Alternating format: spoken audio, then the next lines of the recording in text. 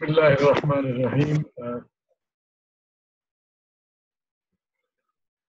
my very good friends, colleagues, students, learners, my peers, mentors, Assalamu alaikum. And today we will uh, discuss the third lecture of the environmental impact assessment. Uh, if you remember in the last three lectures, rather, this is the fourth lectures to be more correct, that we discussed mainly in the first lecture, if you remember, we discussed the uh, EIA process and then we discussed the uh, various methods and tools to predict or project the environmental impact. And uh, in the last lecture, we discussed the risk assessment, environmental risk assessment for different kinds of risks. And today uh, we will uh, further focus on some of the important environmental attributes or parameters which are normally very important to assess in the uh, in the uh, environmental risk assessment. We uh, certainly discussed the general method last day, in which we uh, certainly uh, identified that the first very important is the risk identification and then the risk qualification, quantification, characterization, and then you develop the risk response or management plan, and which also includes the risk monitoring.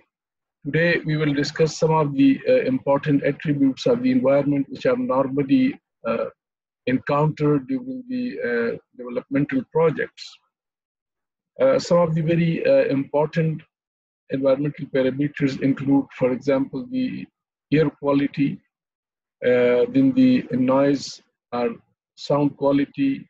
We also have the problems like visual impact assessment or land use impact assessment or uh, land contamination, in other words. We have the water uh, impact on the water. Uh, we have the socio-economic impact or social impacts. there are impacts on the, for example, the archaeologies and cultural heritages. Uh, and of course the ecological impact. So these are some of the very important impacts which we normally study in the environmental assessment. Uh, so we uh, start with the uh, uh, for example, uh, I discussed some of the parameters of the today lecture. The air quality assessment uh, is one of the very important area of the environmental assessment. And uh, as we all know, that the quality of air uh, by and large the, is, is very poor in the developing countries, including Pakistan. And if we just go to the the uh, study of the environmental uh, quality or quality standards in Pakistan, by and large, in all the major cities of Pakistan, we have uh, very big problems of smog, um, uh, of air quality deterioration. And some cities of Pakistan, like Peshawar and even uh, Lahore, have been, uh, Karachi, have been described as the most polluted, polluted cities of the world. So uh, today we will discuss that how this air quality is assessed in, in the environmental parameters. And uh, certainly in next lecture, we will also discuss some of the standards which are important for the air quality standards. Uh, the air quality assessment, uh, which involves the identification, prediction, and evaluation of critical variables such as source emission and meteorological condition uh, potential quality as a result of emission from proposed project and ultimately an assessment to ensure compliance with the ambient air quality standards. Uh, so there are uh, ambient air quality standards uh, which are uh, given by the National uh, Environmental Protection Agency, our EPA Environmental Protection Agency, and we have to see that in case of any new development, what can be the impact on the air quality and what mitigation measures can be deployed to, uh, to bring the air quality to the uh, tolerable limit of the ambient air quality standards. uh, the which is AAQS. We also quantify and qualify and quantify the impacts on air quality through project design, planning, and mitigate them. So this is once we predict and we assess the impact on the air quality, then certainly we would try to see that how the uh, uh, the uh, impact can be mitigated through better planning and mitigation strategies. Uh, so Canter, who is a very uh, expert in the environmental assessment, he identified uh, five or six parameters of the ambient air quality assessment, which is mm, ambient air quality identification of impact, that what are the different impacts, description of existing environmental condition, that is the baseline before the project, procurement of relevant uh, environmental qualities, air quality standard or guidelines, then impact prediction or predication prediction, and finally identification and incorporation of mitigations measures. So this is just a generic process we uh, can have for all the impacts assessments. Now this will also include the ambient air pollution concentrations, uh, pollutant source and specific location, meteorology. Uh, this is really very important because the meteorological uh, components like the, uh, the humidity, the air uh, flow, the temperature, and the uh, other impor important meteorological, meteorological components have a very strong impact on the dispersion of the pollutants. Uh, the local topography is also very important because the topography also plays a very important role. Uh, for example, in the hilly, hilly area, the uh, smog impact is very low and we normally, the smog is intercepted by the uneven landscape but in case of plain areas, the smoke, since we don't have the interception of the landscape, and the topography is normally very level, so we can have a very larger extent of smoke. Physical conditions affecting the pollutant dispersions, uh, this is also very important, and sensitive receptors and their location. There might be, uh, for example, the uh, children, maybe the, uh, the aged population, the old houses, there might be some uh, TB hospital, uh, uh, which in which we are normally treating the, the people with pulmonary uh, infections and diseases. So these are the people who are very sensitive receptor to the air pollutions. Now the characteristic of emission sources, for example, how do uh, we identify the emission sources in terms of the rate of emission, the efflux velocity, velocity that what will be the velocity of uh, efflux the flux temperature, uh, the temperature at which the uh, pollutant would emit, the source morphology, uh, that what is the nature of the source from which this, these pollutants are emitting. The third is the impact assessment that once we uh, identify the baseline, we also identify the source and we uh, can uh, then we go for the assessment of impacts and the cumulative concentration. There are many models and mathematical equations, for example, the computer simulation models, which are used uh, for short term to predict the concentration for few minutes, days, or months. Long-term models for seasonal annual average can also be used. There can be uh, some mathematical models. We have the Gaussian equations uh, in which uh, we can determine the prediction of the temporal and spatial prediction of the air pollution with respect to the source. And there are many other standards. So there are some standard guidelines. Uh, Pakistan air quality standards have been already developed by Pakistan Environmental Protection Agency. And we will discuss these standards in the last lecture of the Environmental Impact Assessment series.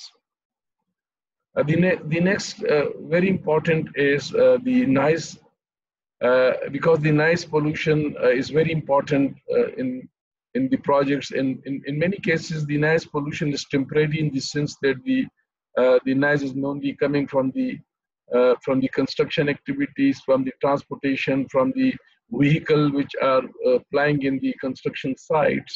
But certainly uh, there can be even noise in case of uh, factories like steel mills, like uh, construction yards, construction precast construction uh, machines. And uh, so there are many uh, kinds of projects in which we, even after the completion of the project, we can have the noise, which is the unpleasant sound in the ears of the human being. And normally uh, there is a limit given by the Environmental Protection Agency beyond, beyond which the, uh, the sound becomes noise and it becomes really unfavorable and pleasant for the listeners. Now the uh, noise assessment, uh, we try to see that uh, what are the noise level of the alternative during project construction and operations, determine the existing baseline noise. Uh, this is again very important that whenever we are going for impact reduction, we need to have the baseline. And so we uh, also identify the unique nice source before we start the project. For example, there can be some uh, some train sounds in a particular time of the day. There might be some uh, mill sounds. There might be some uh, air mills, or there might be some uh, factories already uh, running in that in that locality which has a specific sound. So this unique sound source will be identified at the baseline stage, and then we get the applied standards of the noise pollution uh, by the EPA and then uh, we try to see the macro level impact assessment of the uh, each alternative of design we have thought of to see that what can be the impact of different alternatives of design in the terms of noise.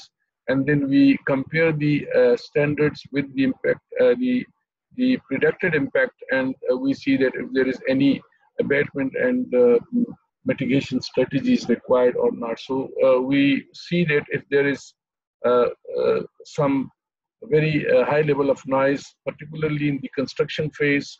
In the projects, we have the high level of noise, and we recommend the personal protection equipment for the for the for the workers, which includes the, for example, the earplugs, their goggles, their gloves, and their boots, gum boots, shoes, and so on.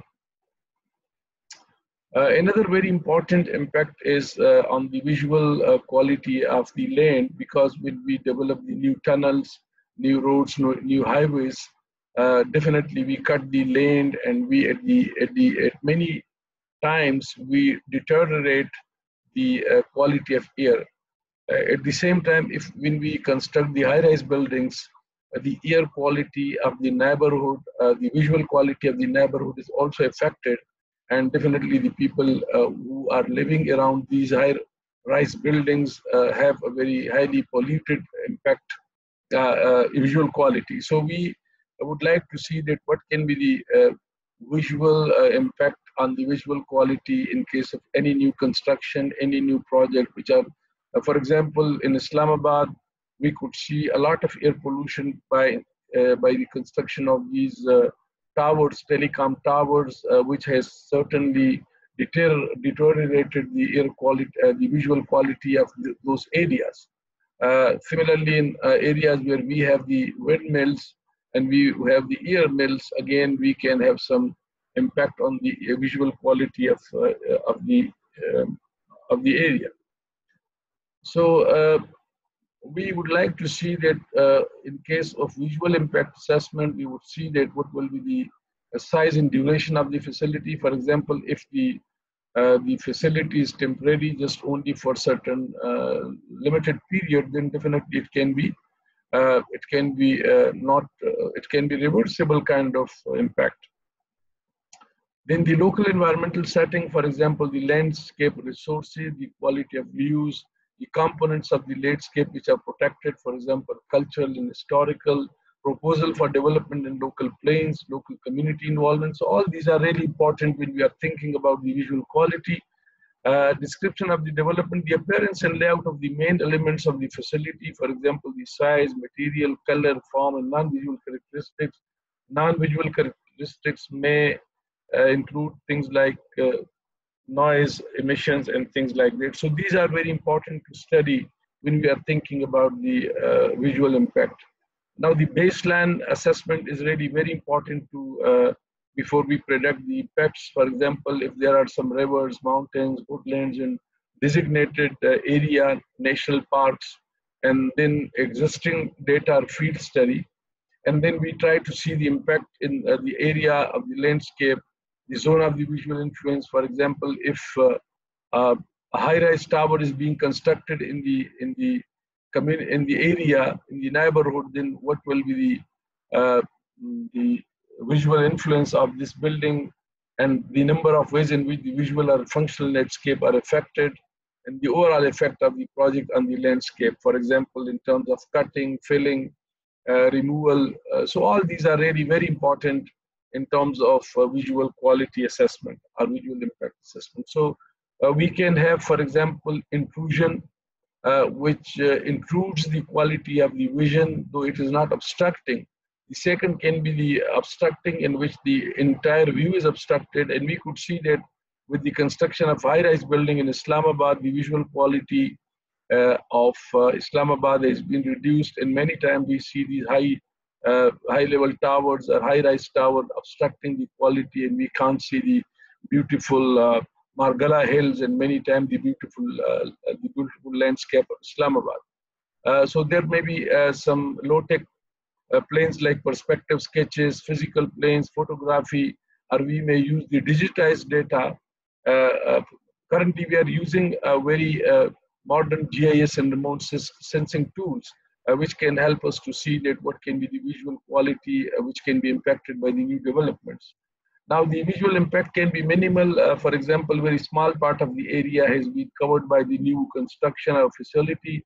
Uh, the slight effect may be minor uh, portion, moderate effect that there are some changes which occur for substantial length of time and area and then substantial effect where the overall scene is altered in substantial length and time and severe impact where the overall view of is altered for much of the operation uh, period. So uh, this is kind of permanent distortion uh, in intrusion or obstruction to the visual quality, and this will certainly have a long-term impact on the uh, people who are living in those particular areas. Uh, the ecological impact is also very important that how the um, uh, the new constructions are impacting the terrestrial environment, the aquatic environment, uh, and the uh, natural environment. So this is really very important. And uh, uh, there are, uh, for example, the change in habitat, the composition and population density of plants and animals, the habitat damage, the displacement of flora and fauna. Now there are various assessment methodology, but unfortunately the ecological assessment is one of the most difficult part of the assessment studies in the environmental assessments.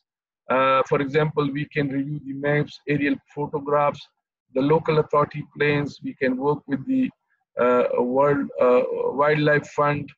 Uh, we can work with the uh, Forest Department. We can work with the Animal Department, husbandry, and all these stakeholders which can have the census and data about the various flora and fauna.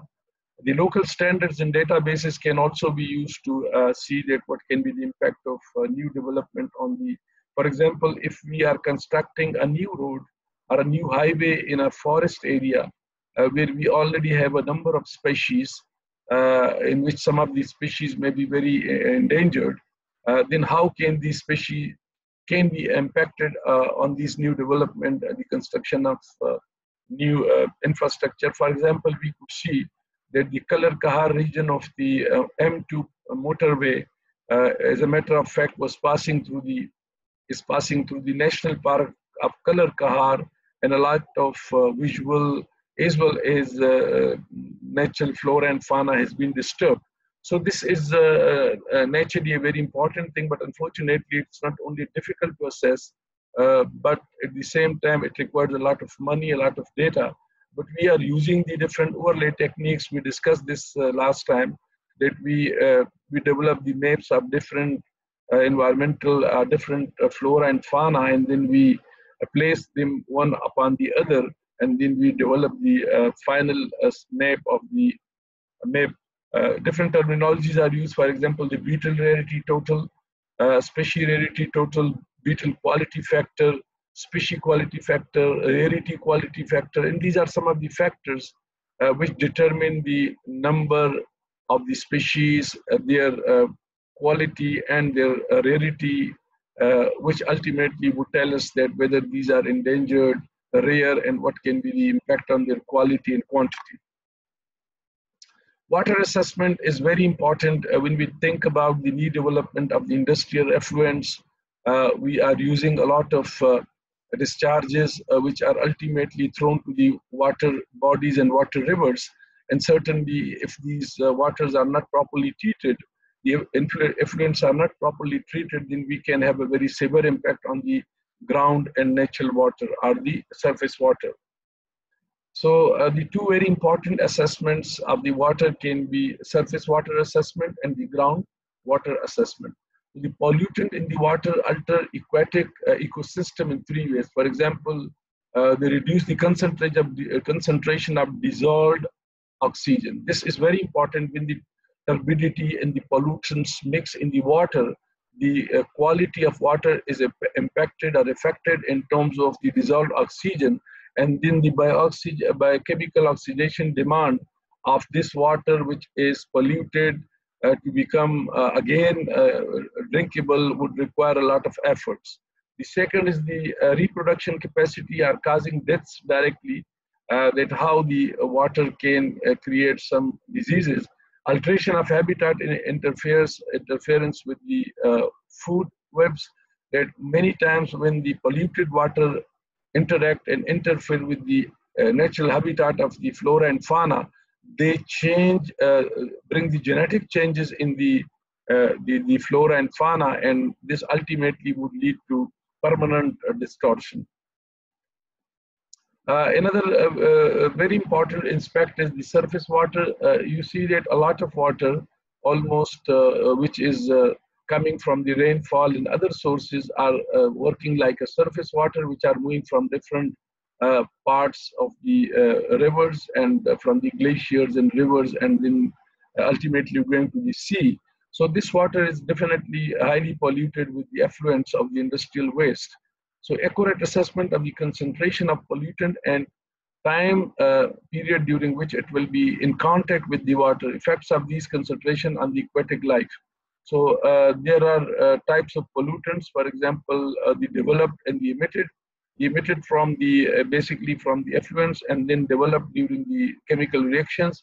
Relation of proposed effluents to quality standards and the production of water pollutants. So these are some of the uh, the considerations we normally take into account while the surface water assessment. Uh, the second important part is the groundwater assessment, uh, which is really very important because if the quality of surface water is affected, it ultimately affects the groundwater.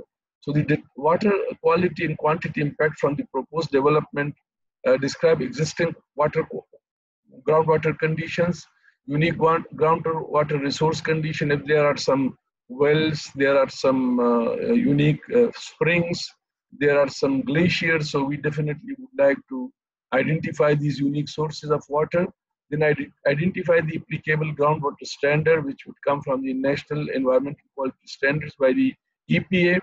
And then we uh, baseline existing groundwater and then we uh, phase impact that what can be the impact on the groundwater in different phases of the project. And then we go for the meso scale uh, and from the micro scale.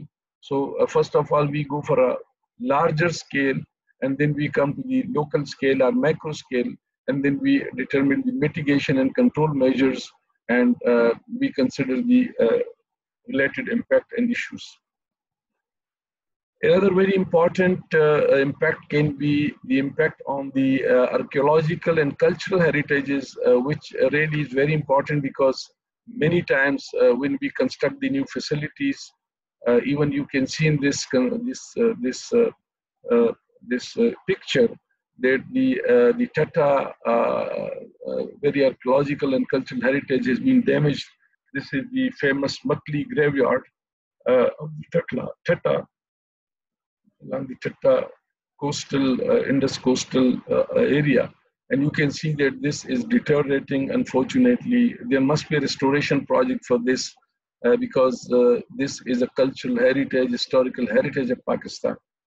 So the cultural heritage uh, or the, uh, the historic, the absence of evidence of archaeology ass assessment does not constitute evidence for absence. So this is really very important uh, statement that if you don't uh, place archaeological assessment in your EA studies, environmental assessment studies, that does not mean that there is no cultural heritage damage or there is no impact on the cultural, cultural damage. It also means that in many studies, we unfortunately forget the important uh, cultural uh, uh, impact assessment. Uh, so we may use the remote sensing, the geographical surveys, the field working or uh, field truth analysis. We may gather, gather the data, which may include the consultation of the statutory lists, register records, detailed research of the existing secondary data, detailed walkout surveys, and structural surveys. So there might be some very important archaeological uh, sites in the uh, way of the construction. For example, in Pakistan, when we were extending or expanding the the GT road in Lahore, unfortunately, uh, we have cut a bigger part of the Shalimar Garden, which is an archaeological heritage and one of the listed facility in the UN UNESCO buildings. So this uh, is really very important that when we are going for the EIA studies, we should really assess the uh, cultural and archaeological heritage. Uh, another very important is the socio-economical impacts uh, because uh, the environment is also the source of uh, livelihood for the people and any project which we bring in the though it is for the development of community, but at the same time, the community is also impacted or affected by these projects. So in this, uh, uh, some of the important considerations are, for example, the health and safety, the crime level, the public risk and injury, psychological environment, the economy, for example, the employment, housing, commerce, cost of living, how this will be impacted or affected, cultural and urban resources like religious and belief system, identification, recreational and scientific resources. And this is really very important because in many cases we have the graveyards uh, in the uh, project area, we have the uh, mosque and other belief temples and mosque and many other religious area, religious places which can create a lot of problems with the stakeholders. So we have to be very careful there might be some recreational and scientific resources, some parks, uh, some scientific resources. Uh, uh, for example, some of the parks may be reserved where the construction may not be allowed. Uh, then there might be the regional growth infrastructure, for example, the social services, changes in the land use, government laws and policies, the population characteristic, which include the birth and death rates, density and distribution, immigration, emigration and immigration. Immigration means the people uh, coming to that place and immigration means that coming out of that area age structure sex ratio and all these are really very important for the social impact assessment. Uh, finally uh, we have uh, we will discuss a separate lecture but just to have a few last slides that we would like to involve uh, for this assessment we would like to involve the local people uh, which are affected. We will involve the proponent of the project beneficiaries uh, government agencies, NGOs, uh, donors, private sector, uh, academics, all these are involved in the process. And we should, we will discuss these in the next lecture, but certainly it should be inclusive, open and transparent, relevant, fair, responsive, and credible, so that people can give their effective feedback in the public involvement process in the project design. So thank you very much. I think uh, we will discuss this uh, in the uh, tomorrow lecture uh, uh, or uh, day after tomorrow, which is more about the public involvement in the EIA process. So thank you very much. I am really grateful for your time and patience. Jazakumullah khair.